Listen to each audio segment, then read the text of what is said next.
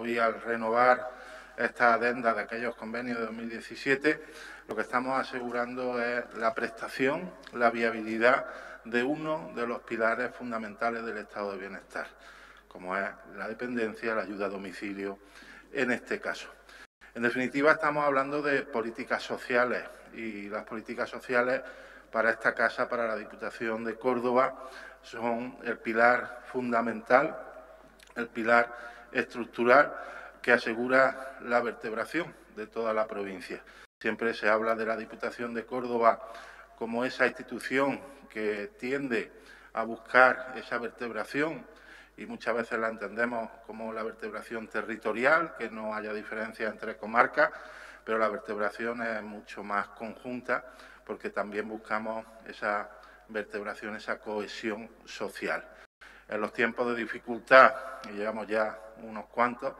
en estos últimos con la crisis económica también asociada a la pandemia, en los tiempos difíciles, en los momentos duros, es cuando tenemos que asegurar que nadie se quede atrás, porque no existe recuperación,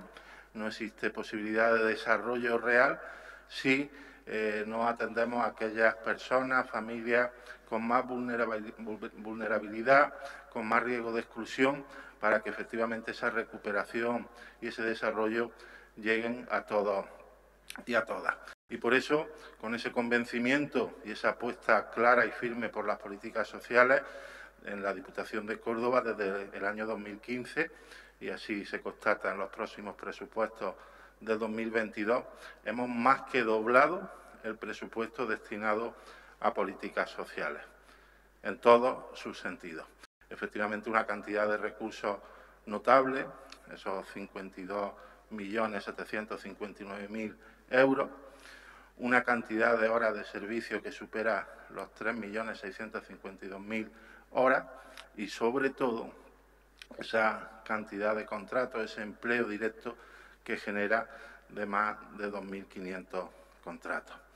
Esas cifras hablan de la importancia en lo formal, pero lo que significan realmente esas cifras tan elevadas, tan, tan llamativas, es que eh, efectivamente estamos asegurando uno de los derechos de, la ciudadanía, que es el derecho a ser atendido, más allá el derecho a poder recibir esa ayuda a domicilio en tu pueblo, en tu casa, en tu hogar, lo cual también implica ese, ese trabajo en la lucha contra el despoblamiento, en definitiva esos derechos sociales que estamos asegurando. Pero si la ayuda a domicilio resulta, por tanto, rentable socialmente, también lo es, y todavía más, desde un punto de vista de desarrollo, de económico, empleo, porque supone que ese sector de la población, fundamentalmente mujeres, que tienen especial dificultad a la hora de acceder al mercado laboral, encuentran ahí un nicho de empleo muy interesante y que está generando esos puestos de trabajo, esos contratos, también en nuestros municipios, con lo cual volvemos a hablar de lucha contra el despoblamiento. Hemos incorporado ya, lógicamente, ese aumento en el precio de la hora hasta los 14,6 euros. Nos hubiese gustado que se hubiese podido llegar a lo que habíamos demandado desde un principio, esa subida hasta los 16 euros, pero seguiremos reclamándolo y seguiremos demandándolo para poder alcanzar realmente ese tope, ese, precio que sea justo y que, y que permita la viabilidad del servicio y, por tanto, la viabilidad de, seguir prestando y asegurando este derecho y este pilar fundamental del Estado del Bienestar. Mi reconocimiento a todos los alcaldes y alcaldesas que juegan un papel fundamental a la hora de, articular la prestación y de asegurar efectivamente la buena ejecución, el buen destino, el buen uso de todos estos recursos, de la generación de ese empleo y de la, de la prestación en definitiva del servicio. Es un servicio que los alcaldes y alcaldesas valoran en su total medida, conocedores como nadie de la importancia de lo que supone en sus municipios y por tanto ahí también seguimos de la mano Diputación y Ayuntamiento de la provincia en la colaboración para asegurar esa cohesión social, esas políticas sociales, ese desarrollo cohesionado y vertebrado de toda la provincia. El próximo año son 15 años de la forma de colaboración que se instauró en esta Diputación Provincial con los ayuntamientos de la, de la provincia para prestar este servicio, un servicio de calidad en lo que se refiere a, la ayuda, al servicio de ayuda a, domicilio. Yo creo que es también un ejemplo de colaboración entre administraciones, administraciones locales, provinciales y autonómicas, y también la parte del Estado, en la parte de financiación que le corresponde, sobre todo, como digo, un ejemplo de colaboración entre administraciones para desarrollar políticas y políticas de calidad, sobre todo políticas que están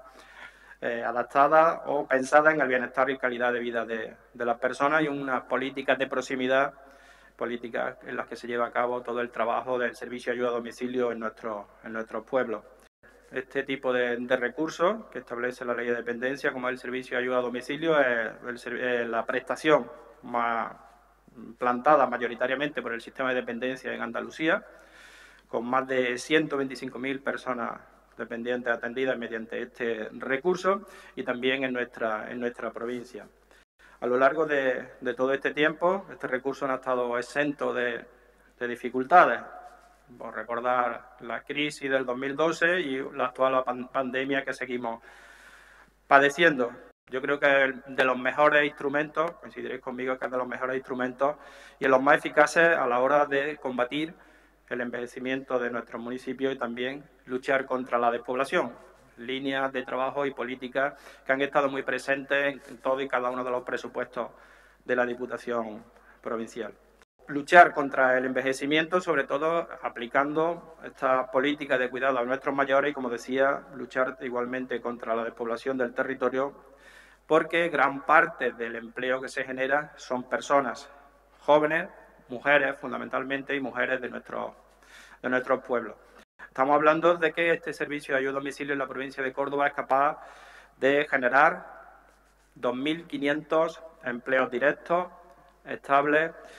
y no deslocalizados, y como decía, con ese perfil de mujer joven y vecina del municipio. Y en este sentido, eh, en este próximo 2022, desde el IPBS queremos eh, renovar ese compromiso con, vosotros y vosotras, con todas las corporaciones locales, todos los ayuntamientos, con el reto, como decía, de atender a más de 7.500 personas dependientes, con una carga de trabajo superior a las 3,5 millones de horas de trabajo, con una inversión superior a los 52,7 millones de euros y generando un empleo, como mencionaba anteriormente, en torno a 2.500 empleo directo. A pesar de estas cifras que son muy importantes, como mencionaba también al principio de, mi intervención, no podemos olvidar que detrás de todo este trabajo conjunto, como decía, entre administraciones, hay nombres, apellidos, hay caras de vecinos y vecinas que están recibiendo este, este recurso en nuestros pueblos. Detrás de este trabajo pues están Carmen, está Juana, está Antonio o está Fernando. Como objetivo para el 2022 retos nos, nos planteamos cuatro, cuatro, retos importantes. En primer lugar, eh, trabajar y apostar por el cambio paulatino de este servicio hacia una atención cada vez más personalizada y centrada en la persona. Yo creo que ese tiene que ser el objetivo de todo y cada uno de los que estamos trabajando en los servicios sociales. Un segundo reto u objetivo es reivindicar entre todos a la Administración de la Junta de Andalucía para que aplique las medidas contenidas en el plan de choque de la dependencia dictadas por el inserso y me estoy refiriendo a incrementar la intensidad horaria de los dependientes moderados, que como conocen actualmente está fijado en 10 horas mensuales, cuando la propia norma establece que puede ser superior hasta llegar a las 20 horas. Un tercer objetivo o reto para este 2022 era apostar por la especialización y la diversificación del servicio para que sea capaz de dar una respuesta adecuada a las demandas tan dispares que existen en la casuística en el día a día en este trabajo, como pueden ser demencia o cuidados de larga duración. Y en cuarto lugar, pero no menos importante, seguir apostando por la formación de los cuidadores y de las cuidadoras y mejorar la calidad del empleo generado en nuestros pueblos mediante la implantación del servicio de ayuda a domicilio. Sin el compromiso, yo estoy seguro que vamos a tener, y la complicidad de todos y cada uno de vosotros, no podríamos conseguirlo. Por eso quiero pedir ese compromiso y de todos los ayuntamientos, de todos los responsables municipales, no solamente alcaldes, alcaldesas o tenientes de alcaldes, sino también concejales y concejales de servicios sociales.